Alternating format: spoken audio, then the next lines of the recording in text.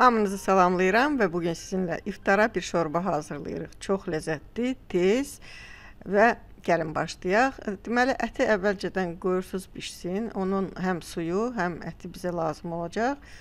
Əlbəttə, hər kəs öz imkanına görə az və ya çox ət götürə bilər. Bir kartofa ehtiyacımız var.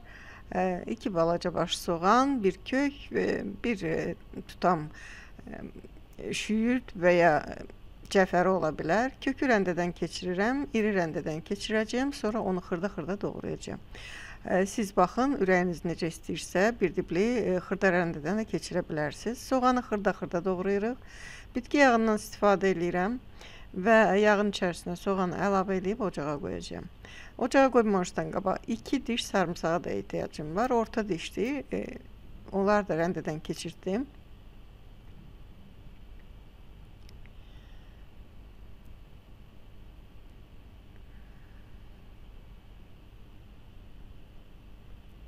Ocağın üstünə qoyub soğanın ə, e, suyu tamamilə uçacaq, yağa düşənə qədər qızardırıq. Ondan sonra kökü əlavə edirik üstünə. Gördüyünüz kimi kök çox xırda-xırda doğranıb. İndi bunların ikisini qarışdırırıq. Yenə də bir azacıq qovururuq və artıq qazana keçirdə bilərik. E, qazana əlavə elədim. Bunun üzərinə doğradığım kartofu və əvvəlcədən bişirib diddiyim ətləri əlavə eləyirəm. Ət istəyirsiniz toyuq əti ola bilər, istəyirsiniz indüşka ola bilər, istəyirsiniz qoyun ətindən, mal ətindən istifadə edə bilərsiniz. Amma əvvəlcədən bişirin və onu didin. İndi isti-isti e, görürsüz ki, e, ətin e, bulyonu var idi. Onu da əlavə eləyirəm. Və qapağını örtüb qoyacağam, qalsın bişsin. Bu arada artıq duzunu əlavə eləyə bilərsiniz istəyirsinizsə. İndi içərisi üçün deməli ərişdəmizi hazırlayaq. Ərişdə üçün xəmir yoğurmayacağıq. Doğradığımız göyərtini qaba alırıq, bir yumurta vururuq üstünə və indi bunu blenderlə yaxşıca əzəcəyəm. Əzirəm ki, göyərti yeməyən uşaqlar rahatlıqla yeyə bilsin və ümumiyyətlə bizim bu ərişdəmiz göyərtili olacaq. Üzərinə un da əlavə elədim, qarışdırıram yenə də və bir xörək qaşığı suya ehtiyacım var. Onu da əlavə edib yaxşıca qarışdırım. Hə, desəz ki, mənim blenderim yoxdur. Onu da xırda-xırda göyərtini doğrayın. Yumurta ilə birlikdə çırpın.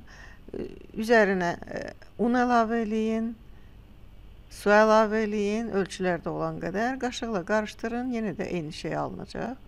İndi mənim belə bir qabım var. Sizdə ola bilər, olmasın. Alternativ olaraq baxın, belə e, qablar olur. E, bunun içərisinə də əlavə eləyib ucluğundan süzə bilərsiniz və ya ucluğun yanında hətta tez-tez e, bişirmək istəyirsinizsə belə şorbaları ucluğun yanında bir neçə deşik aça bilərsiniz ki, daha axıcı olsun, daha tez e, deməli qazana boşalda biləsiniz. Yoxdursa butulkadan istifadə edə bilərsiniz. Butulkanın qapağında deşiklər aça bilərsiniz.